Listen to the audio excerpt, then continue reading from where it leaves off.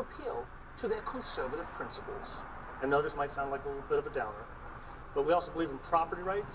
This is a private, but a private hotel, just like your house, gets to set its own rules. Carly, our CPAC director, So please.